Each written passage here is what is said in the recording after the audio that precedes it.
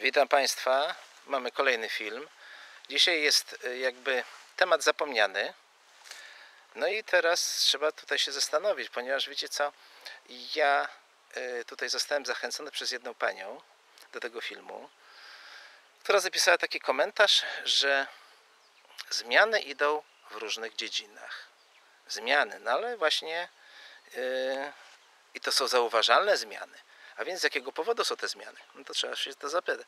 Otóż zmiany idą, yy, to są tak zwane zmiany świadomościowe, ale z czego one są, z czego one wynikają? To nagle co nam się świadomość zmieniła i tak dalej. No jest oczywiście bardzo duży natłok informacji i można powiedzieć, że no, są różne informacje, ludzie mogą y, sobie wybierać, analizować, myśleć i tak dalej. Ale nie o to chodzi. Otóż ukryto, kiedy ten temat praktycznie wynurzył się w 2015 roku, to y, powiedziano tam, że było to, że y, wibracje były tak zwany rezonans Schumana y, 7,8 Hz, dobrze? Jakoś tak. A tu powiedzmy dwa lata temu zmienił się na 16 z groszami. No. Czyli on się zwiększył. No i co ciekawe, ja na przykład zauważyłem taką rzecz po Państwa komentarzach. Ja widziałem komentarze na początku niebocentryzmu i dzisiaj. To są jest z nieba ziemia. A więc y, Państwo świadomość wzrasta łącznie z tymi wibracjami. Bo wibracje ma, one są wprost proporcjonalne do Państwa świadomości. I wystarczy właśnie pobudzić jakimiś informacjami i Państwa świadomość wzrasta. Więc co robicie? Podejmujecie jakieś decyzje, wychodzicie ze stołówki diabła, e, piszecie bardzo pozytywne rzeczy. E, dziękuję bardzo, to tak tutaj na marginesie. E, widać, że jesteście jakby przegryzieni, coraz bardziej lepiej rozumiecie rzeczywistość i to, co się mówi, a więc nie dajcie się już wkręcać w różne jakieś tam idee, po prostu Elohim. Dzisiaj jest ogromny wysiłek, e, trzeba włożyć, żeby kogoś wkręcić gdzieś w coś, powiedzmy, co jest lipą, nie? A więc to Państwa jakby tutaj ta, te wibracje jakby tutaj chronią przed właśnie, chronią przed jakby wkręcaniem powiedzmy ludzi w kolejne jakieś tam fikcyjne rzeczy. Żeby być dalej pokarmem energetycznym w stołówce diabła. W stołówce Elohim. A więc widzimy. I teraz tak, co tutaj zrobiono dwa lata temu? Dwa lata temu wytłumaczono to, że to jest wibracja Ziemi. O, to co, Ziemia ma jakieś powiedzmy ekstra wibracje, że ona wibruje, a gdzie jest źródło, a dlaczego to wibruje? Tego już nie wytłumaczono. Do czego to doprowadzą te wibracje? E, czy one mają skutek pozytywny, negatywny? E, tylko, że powiedziano, że no wszystkie, coś czujemy, że coś jest nie tak. O, tak to powiedzmy w jednym filmie zauważyłem, takim krótkim, że coś, że coś jest nie tak. To nie o to chodzi, że to jest coś nie tak. Bo co jest nie tak? Po prostu żyjemy, funkcjonujemy i jest wszystko tak, nie? Ale no czujemy powiedzmy zmiany. Ale, y, ale dlaczego czujemy zmiany? Bo świadomość się nam zmienia. Wzrasta ta świadomość. Nie dajemy się wkręcać nie? w różne kulty. I to widać po komentarzach Państwa, po prostu stanowisko to widać. I teraz tutaj chcę właśnie zobaczyć, e, znaczy chcę Państwu pokazać, jak się zmieniła e, świadomość ludzi e, w ciągu 4 lat. No tak będzie. Niebocentry zaczynałem w 2013 roku i tam puściłem taki film raz kiedyś. To był numer 5 niebocentryzmu, początek. No i tutaj tam pokazałem, że okręty za horyzontem to nie jest coś, powiedzmy, że te okręty jakby tam na tej kuli spadają, płyną gdzieś dalej za kulę i dlatego ich nie widzimy. Tylko wręcz odwrotnie, po prostu żyjemy w kuli. No i te okręty przecinają linię światła. Kiedy płyną, oddalają się od nas, to płyną do góry. A kiedy się przybliżają do nas, to spływają z góry. No i dla niektórych to było taki wielki szok, to w ogóle to się tam gotowało, pamiętam chociaż była oglądalność potworna wtedy tego mojego kanału pod moim nazwiskiem, ale został zlikwidowany 14 stycznia 2014 roku, 2014 roku. Ale był to wielki szum, no i było parcie straszne, powiedzmy, na poznanie tego nowego poglądu, bo tak stwierdzono, że to jest nowy pogląd. E, ale i taka była cecha charakterystyczna. Wtedy było ponad 300 łapek w dół, a tylko 60 było w górę.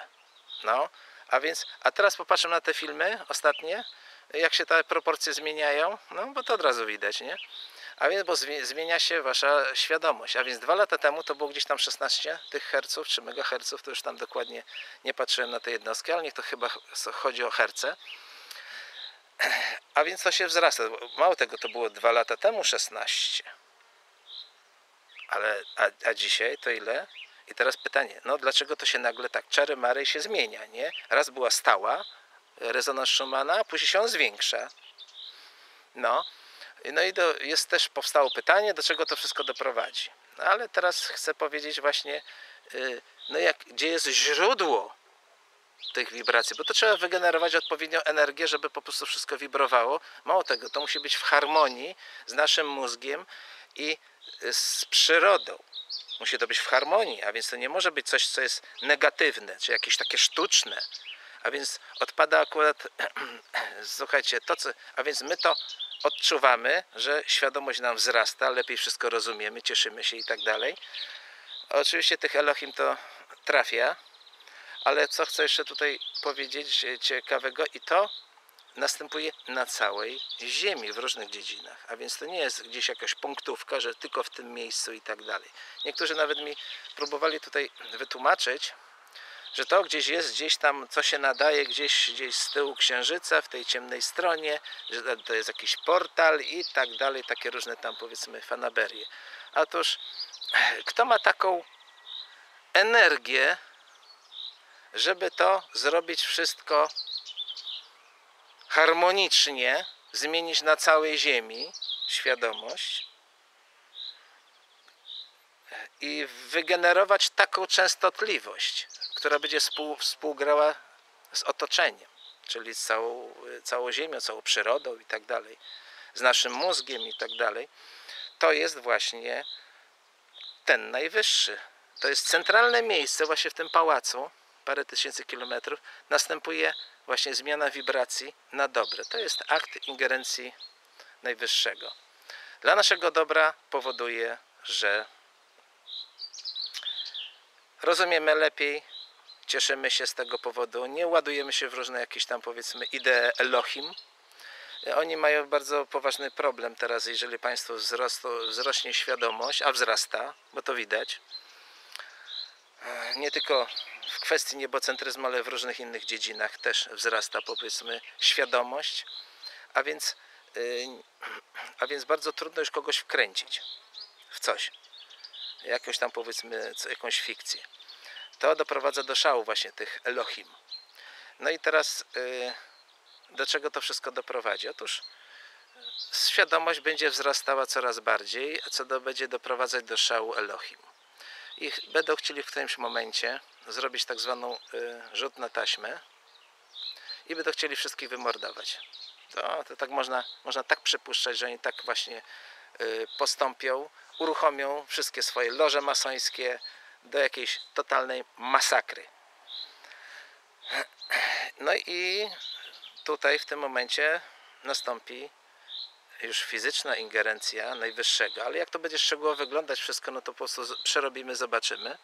Na, na razie po prostu ten akt ingerencji, czyli zmiana częstotliwości, ma nawet taką bardzo praktyczną wartość, nie tylko to jest tej świadomości, ale co ciekawe, ja miałem akurat okazję jedną taką panią posłuchać, powiedzmy, i to ta chyba z minutę tylko. Ona się przyznała do tego, że jak się zwiększyły wibracje, to ona już e, nie może jasno widzieć. Ona już nie, nie jest w stanie po prostu. Jeszcze parę lat temu coś tam jeszcze mogła trelemele, coś tam powiedzieć, powiedzmy, że makaron na uszy tam powiesić. Też jeszcze mogła coś powiedzieć, ale teraz no, no, się przyznała, że zwiększyły się wibracje i że teraz już no, no, no, nie widać do przodu. Są problemy, nie? A więc nawet jasnowicki sobie już mają problemy właśnie z tymi e, kwestiami, a więc po prostu jako przekaźnik demonów, no to już po prostu nawet demony już mają problemy z tym właśnie tak zwanym, e, no z czym, żeby coś tam nakarmić jasnowickę, żeby ona tam ściągnęła do tej stołówki diabła powiedzmy kolejne porcje, albo żeby ich utrzymała, o w ten sposób, utrzymała stołówkę, ilość porcji, No bo taka jest rola. No, no, po prostu przyzwyczaja, jest taka powiedzmy, są różne powiedzmy osoby, one przyzwyczajają do siebie powiedzmy odpowiednio, odpowiednie grupy ludzi, żeby po prostu stołówka była pełna Elohim, pełna porcji dla Elohim. O, w ten sposób, dla bogów, czyli diabła demonów. A więc e, w ten sposób tak to wszystko wygląda. Ja tutaj ten film Państwo tutaj wkleję i on ma tutaj taką jedną rzecz tam w swojej końcówce. I ten film akurat stał się tutaj jakby niebezpieczny. On się stał niebezpieczny, to uzasadniono i usunięto mi wtedy pod moim nazwiskiem w styczniu 2014 roku e, cały kanał tam ze wszystkimi filmami o niebocentryzmie. Nie? Później musiałem się gdzieś tam indziej salwować, e, przesunąć te wszystkie filmy na Vimeo i tak dalej. Później po prostu wróciłem na, później raczej wróciłem, później e, była inna historia, powiedzmy w tej chwili powiedzmy jestem na królewskiej telewizji, nie? A więc taka tutaj była historia, ale dlaczego ten film był właśnie taki niebezpieczny, dlaczego w ogóle ten temat niebocentryzmu staje się taki niebezpieczny? Bo on jest bardzo ważny, żeby zrozumieć to. Jak rozumiemy nieboce- niebocentryzm, że żyjemy w kuli, no to wiemy, dlaczego się zmieniają wibracje. Więc taki temat to nie jest jakiś obcy dla nas albo czegoś nie wiemy, bo jest ten, który umie to wygenerować dla naszego dobra. Bo diabeł też może wygenerować harpa. Co za problem? Tam puknie, trzęsienie ziemi, 200 tysięcy trupów. Żaden problem. Ten puknie gdzieś tam powiedzmy w Armenii kilkanaście tysięcy trupów, nie? W Chinach 200 tysięcy trupów, tsunami ileś tam tysięcy do piachu i tak dalej, nie? Straszliwe zniszczenia. No to jest właśnie to jest generacja też częstotliwości, tylko przez harpa. Natomiast y, generacja, znaczy generowanie częstotliwości, czyli mieć odpowiednią moc, żeby było w harmonii z całym życiem na Ziemi, dla dobra ludzi, bo to też jest naszym, skoncentrowane też jest na naszym umyśle, dlatego właśnie ta świadomość wzrasta, to y, jest właśnie od Ojca Najwyższego. On dla nas robi właśnie dobro. W tym momencie dla nas dobro, zresztą dał nam życie, zresztą y, tutaj generuje to, żebyśmy teraz poznawali, żebyśmy poznawali właśnie e, tą rzeczywistość i dlatego nikt się już nie dziwi, że powiedzmy, no okręty płyną do góry albo spływają z góry, nie? A kiedyś to był szok, ciężki, oj ciężki szok. Powiedzmy, no i to były agresywne dość tam takie komentarze, ale pamiętam takie były nawet komedyjne komentarze, to wam powiem jaki jeden pamiętam, bo mi się akurat spodobał. mi się spodobał taki komentarz. Co pan bierze? Ja też bym chciała. no to sobie możemy wyobrazić, nie? Jakie tutaj numery odchodzą. E, Ale o co chodzi? No, państwo macie być zadowoleni, a więc ja Państwu właśnie chcę wrócić do tego tematu. On był powiedzmy jakby powstał i został zarzu- zarzucony. O, ten sposób, bo, bo to taka była rola systemu. Coś powiedzieć, coś tam trelemele tego, tego i w sumie zagłuszyć, żeby nie było dyskusji i w sumie umarł. Znaczy on pra- prawie umarł, on wcale nic nie umarł. Po prostu Państwo żeście go wyciągnęli.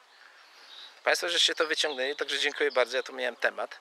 No jest to jest dobry, dobry temat, ponieważ nas wszystkich on dotyczy i teraz wiemy, dlaczego coś lepiej rozumiemy, a czego powiedzmy kiedyś żeśmy tego nie rozumieli, a teraz rozumiemy. Dlaczego? Bo świadomość wzrosła, bo wibracje, czyli rezonans Schumana poszedł do góry, ponieważ ojciec celowo to po prostu odpalił, zrobił.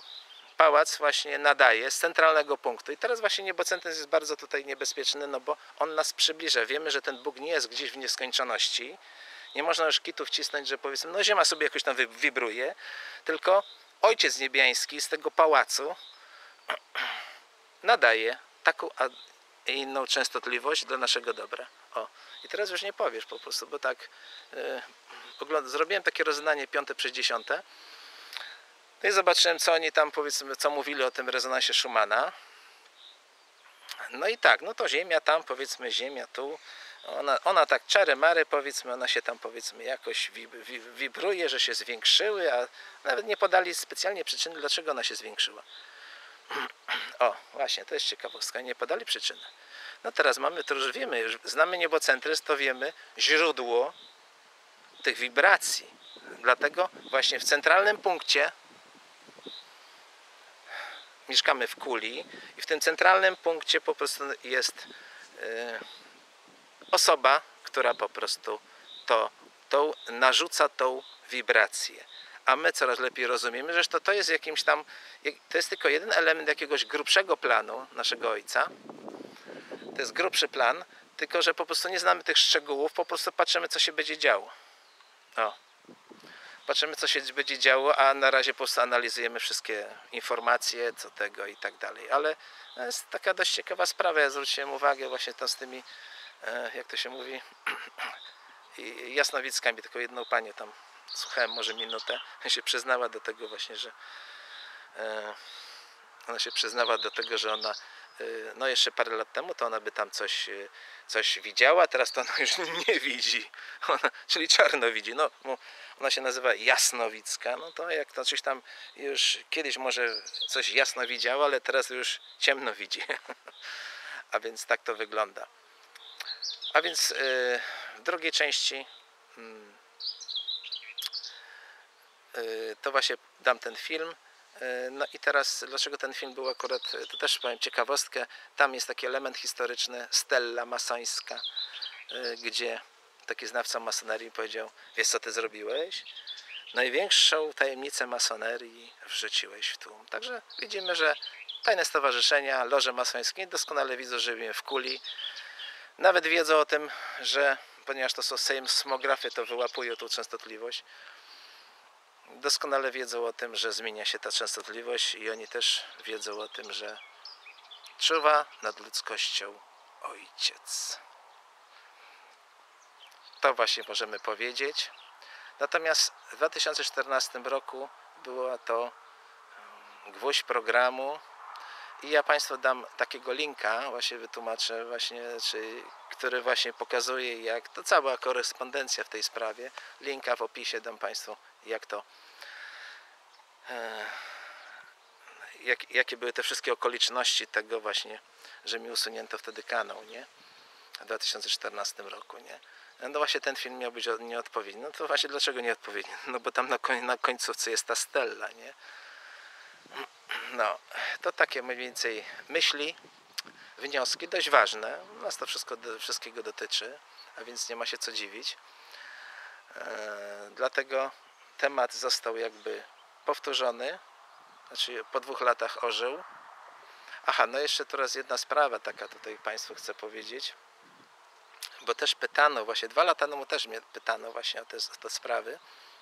Dlaczego takie wrzaski są takie nienaturalne, takie jakieś, to w zeszłym roku były te, te wrzaski w różnych częściach świata, e, wygenerowane takie przeraźliwe dźwięki. Pamiętacie może Państwo? Tak, było to coś takiego.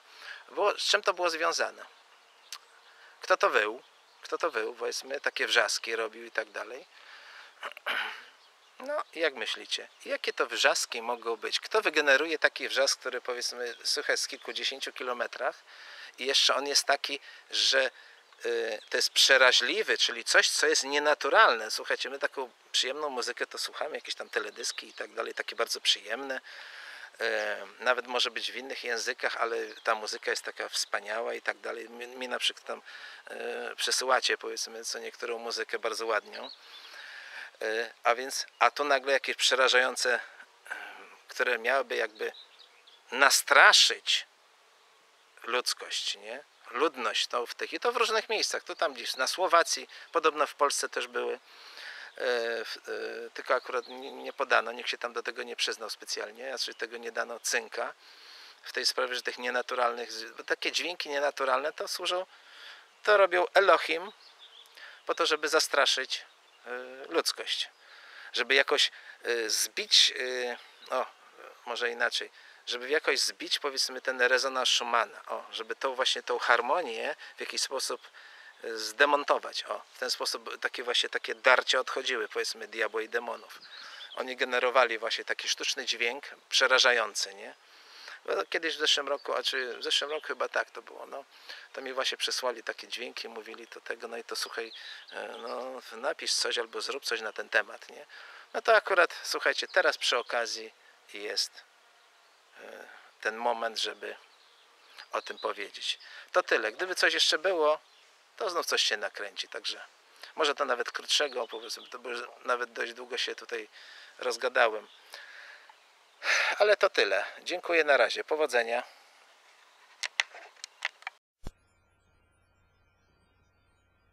Witam Państwa na kolejnej części niebocentryzmu. Dzisiaj mamy okręty i horyzont. Co to znaczy? Ten okręt na horyzoncie znikający albo wynurzający się. No dzisiaj się temu przyjrzymy, a więc przechodzimy do tego typu zdjęcia. To zdjęcie ściągnąłem z internetu, zrobił to jeden z naszych czytelników i widzów. Yy, co przedstawia? Kontenerowiec, no ale nie widać kadłuba. No więc no, wszyscy są przekonani o tym, że żyjemy. Żyjemy na zewnątrz Ziemi, no przecież to widać i tak dalej. I tu każdy się będzie zarzekał, że no przecież widać. No ale zaraz zobaczymy, co widać. Co tak naprawdę widać i jak zinterpretować to zdjęcie. Na podstawie wiedzy, której już posiedliśmy, której już znamy a więc odgięcie promienia od góry, a więc musimy zobaczyć na przekrój jak to wygląda. Proszę bardzo. Schemat zasięgu widoczności. Dlaczego tak bardzo łatwo mm, wmówić człowiekowi, że żyjemy na zewnątrz Ziemi? Po prostu jest jedna zasada. Człowiek widzi po prostej. Oko widzi po prostej. Natomiast światło biegnie po krzywej. Natomiast krzywa światła jest zasięgiem naszej widoczności. Popatrzmy. To ta krzywa tutaj czerwona. Widzimy tą szarą strefę tutaj z tyłu. I jak się znajduje tutaj jakiś obiekt, my go nie widzimy. Ponieważ to jest nasz zasięg widoczności. Ta czerwona krzywa. Ona biegnie do jądra światła. Czyli nasze oko widzi po prosty, ale tak jak pozwala krzywa światła. Na tym polega cały wizm. I dlatego człowiekowi można wmówić, no rzeczywiście żyjemy tak, no bo przecież to widać. Tak. Tam, owszem, my widzimy skutki krzywej światła, ale widzimy po prostu.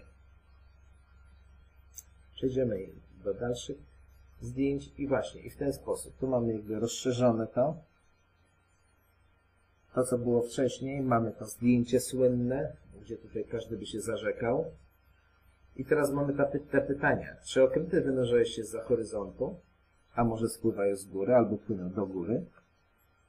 Popatrzmy. Na czerwone skrzywa światła. Mamy, to jest punkt wysokości A. To akurat było zdjęcie na plaży w Łebie od naszego czytelnika.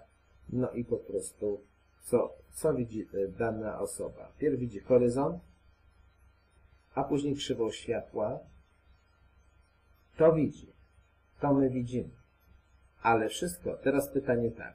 Kontenerowiec, on przecina krzywą światła. On płynie tak, wzdłuż wybrzeża i on przecina krzywą światła. Dlatego kadłuba nie widać i widać tylko kontenery i nadbudówki. Tutaj mamy to samo. Żaglowce spływają z góry, no bo spływają. I co nam krzywa światła, zasięg widoczności pozwala? Pozwala widzieć tak, w miarę jak się przybliża maszty, a później kadłub. To jest właśnie zasada słynnego wynurzania się z za horyzontu. Pójdziemy dalej. Teraz mamy okazję właśnie zobaczyć w paru zdjęciach, jak to wszystko wygląda i jak wygląda to, na co nam pozwala krzywa światła, czyli zasięg widoczności. Widzimy w pełnej okazałości żaglowiec? Proszę bardzo, co? Trochę się zanurza. On się nie zanurza wcale. Tak idzie krzywa widoczności, że on po prostu ją przecina. Tutaj już po prostu prawie, że kadłub poszedł w wodę. Znaczy on nie poszedł w wodę. On po prostu y, oddalając się przecina krzywą światła. Tutaj tylko nadbudówki zostały. Tu już kadłub się schował i mamy tylko żagle. Tak się oddala, czyli tu nie do góry. A to jeszcze raz dla powtórki. Krzywa widoczności i zasięg. Ta krzywa widoczności to jest nasz zasięg. I widzieliśmy, my mieliśmy okręt, który płynął do góry, a tutaj mamy na tym wykresie, jak okręty spływają z góry. A to mamy oficjalny blef, ale tym się nie będziemy zajmować. W każdym razie ja to tutaj dałem dla orientacji, że e, wszystko jest na odwrót, realnie jest na odwrót. Ale korzystając z tego blefu widzenia po prostu przez człowieka, można takie rzeczy komuś wcisnąć. A teraz tak, trochę powiększę. Co my tutaj mamy? Niektórzy się po prostu biją o to, że nie istnieje ta kula w środku Ziemi, czyli jądro wszechświata nie istnieje. Pierwszym dowodem jest Biblia, ona mówi, czym są niebiosa niebios. Drugim dowodem jest to, że mamy noc, bo gdyby tej kuli nie było w środku, no to nie mielibyśmy nocy, ale ona jest i dlatego mamy noc i dzień. Tu mamy po spirali biegną księżyc i słońce z elektrowni, czyli z niebiosa niebios, płynie energia do słońca. Słońce jest swoistą żarówką, czyli emiter światła, tylko i wyłącznie, nie źródłem energii. To jest mniej więcej taki schemat. Teraz idziemy dalej. Tutaj już mamy wymiarówkę. Jeszcze mamy jeden czynnik, który nam mówi o tym, że istnieje niebiosa niebios, już pomijając te dwa, czyli Biblia i istnienie nocy. Jeszcze mamy krzywą światła. Jakby ona nie zakrzywiała się, ona wraca do jądra wszechświata, bo taki jest obieg światła. Idzie z elektrowni do Słońca, Słońce oświetla Ziemię i ten promień wraca do jądra wszechświata. Czyli mamy trzy dowody na istnienie niebiosa niebios, e, czyli dwa dowody niezależne, czyli pozabiblijny i jeden dowód biblijny. Czyli razem mamy trzy dowody. Co my jeszcze tutaj dalej mamy? Jeżeli chodzi o tą wymiarówkę, Ziemia, średnica 12742. Oczywiście jeszcze musimy dorzucić 2044 średnio, grubość skorupy ziemskiej. Y, co tutaj mamy? To niebieskie. To jest linia karmania, szkło nieba, biblijny firmament, 100 km nad ziemią. Będzie jeszcze film ekstra na ten temat. Na temat linii Karmana i biblijnego firmamentu. Co ma jeszcze mamy? Tutaj między linią Karmana a ścianą kuli niebiosa niebios mamy 3000 km. Właśnie w tych 3000 km wędruje Słońce i Księżyc. Co jeszcze tutaj mamy? Hmm. Mamy atmosferę wewnątrz i zewnątrz. Też jest atmosfera. Połączone są hmm, otworami na biegunach. Co jeszcze mamy? Mamy zorzę polarną na północy i na południu. Co to jest?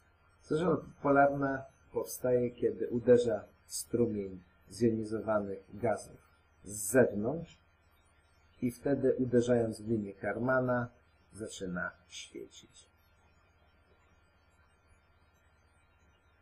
Natomiast tutaj też zadawano pytania po drodze, czym jest ta, co jest na zewnątrz, nie? Na zewnątrz jest biblijna otchłań. To jest właśnie to tło koloru jasnozielonego. Ta otchłań zwana też jest Agartą. Kraina znana z podań i legend wszystkich ludów wewnętrznej strony.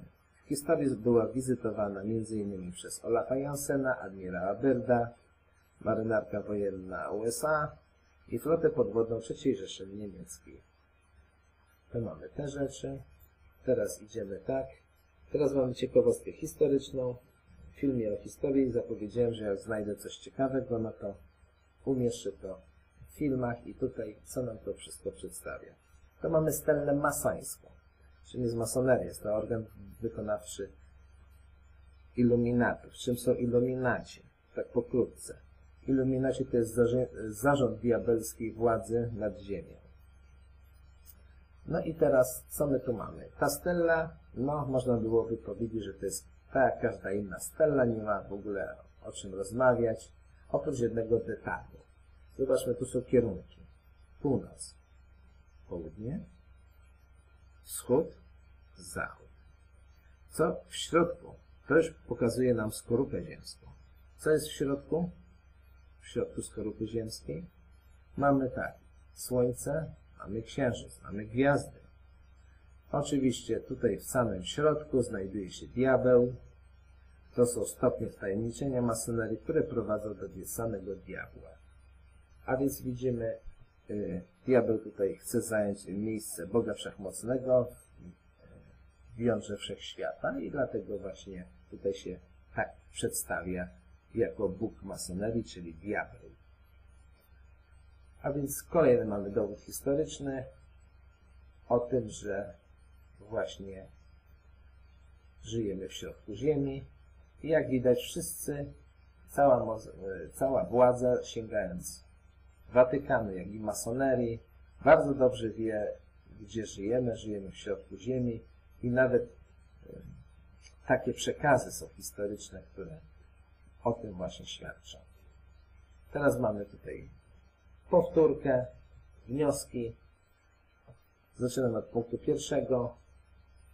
Okręty znikając za horyzontem realnie płyną do góry. Okręty wynurzające się za horyzontu realnie spływają z góry.